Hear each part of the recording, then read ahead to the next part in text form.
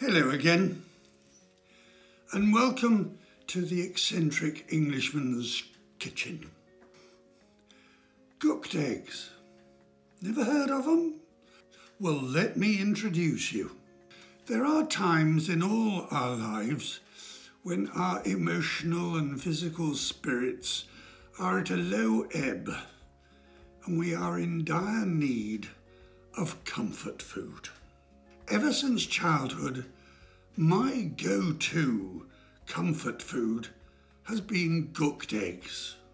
Even the simplicity of the ingredients and the preparation is comforting. Let me show you.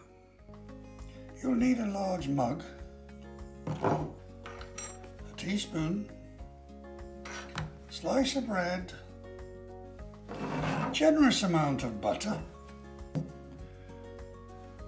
two eggs, salt,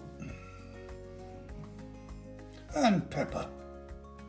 And that's it.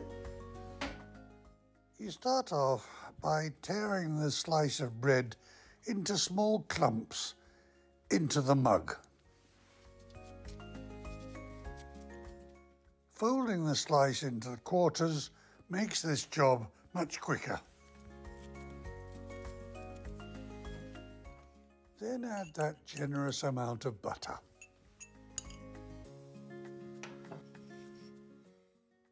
Add in a generous pinch of salt and a good grinding of black pepper.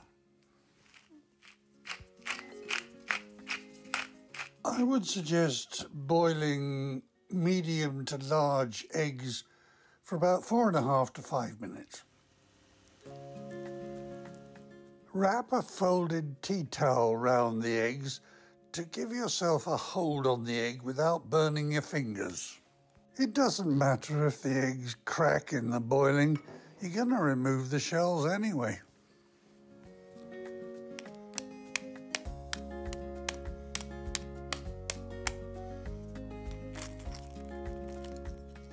Remove the top and then eviscerate the rest of the contents out of the shell. Just fancied the word eviscerate.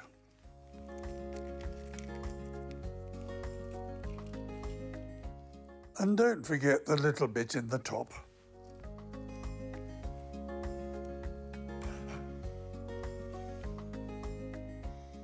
You then repeat the process with the second egg.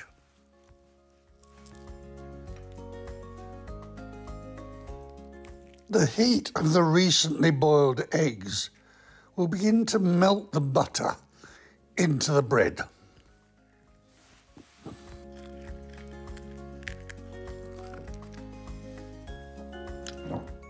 And this is where we start what I call the gucking process.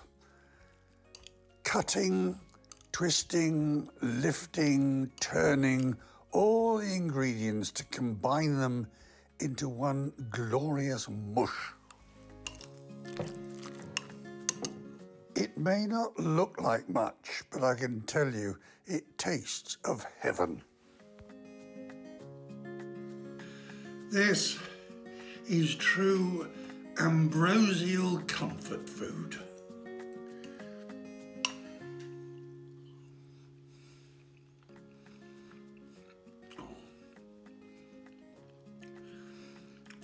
Does make you feel good. It really does. Try it yourself.